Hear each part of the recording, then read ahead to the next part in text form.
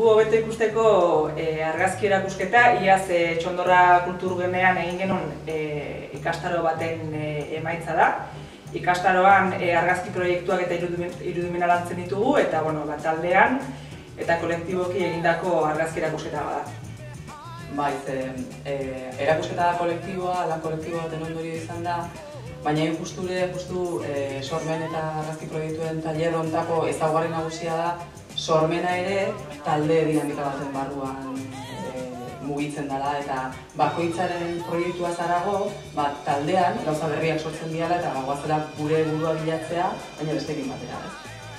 Bai, eta gero, etorretako jende askoren iritziak zer esan duen, ba, direla argazki, jo, esaten da bezala, bakoitza bere aita da amarena, ez? Eta horrek ematen dio erakusketa honi, ba, kriston kolorea, anistasuna, eta edo zeinek egin ditzazkela gaur egun argazki politzen. Lokala behar da, baina, bueno, esuerte izan dugu.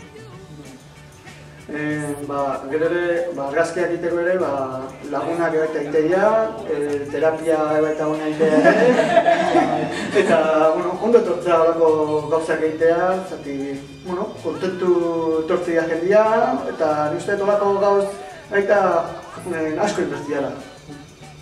Bai, esan dugun bezala, baina polita era bai aldarrikatzeko askotan artean eta horrelako espresioetan ikusten den individualismo horretatik aratago, ere bai zaberaztasuna sort dezakeen horrelako goza eklektiko bat nasteak eta baina jakiteak elkarrelikatutako lanek osatzen dutela, ez?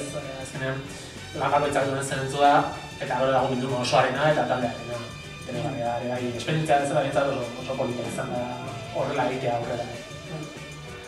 Sí, eso es, o sea, que se refleja la individualidad de cada uno, y, pero todos hemos participado también en la individualidad de cada uno de nosotros, ¿no? O sea, todos descartamos fotos, decidimos esta sí, esta no, no era un poco entre, entre todos hicimos todos los proyectos, o sea que eso también hace que todos tengan también un punto de unión en ese sentido todos nos sentamos identificados con el trabajo del resto del grupo.